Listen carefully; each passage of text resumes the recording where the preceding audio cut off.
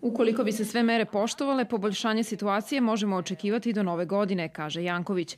To, međutim, neće biti dovoljno da opravda masovna okupljanja u danima praznika.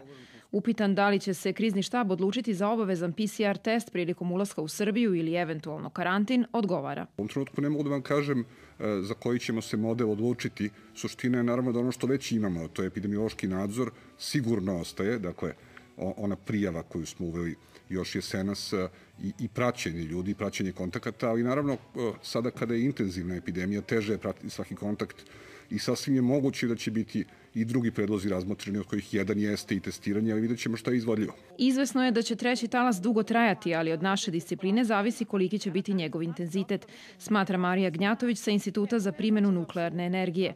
Vakcina će nam definitivno pomoći u borbi sa virusom, ali kao i svaka vakcina, ni ova nije 100% pouzdana. Vakcinacija, kako da kažem, neće rešiti sve naše probleme.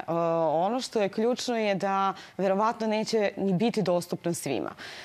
Svakako, ljudi koji imaju dobar serološki odgovor na virus ne bi trebalo da budu na prvoj liniji davanja vakcine. Trebalo bi da budu ljudi koji su konstantno izloženi, lekari, profesori u školama, stariji od 65 godina.